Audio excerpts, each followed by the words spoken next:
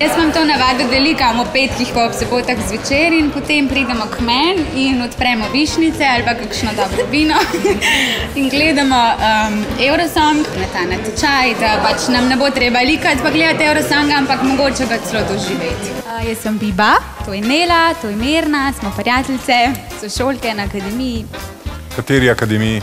za glasbo v Zagrebu. Adiós, querida,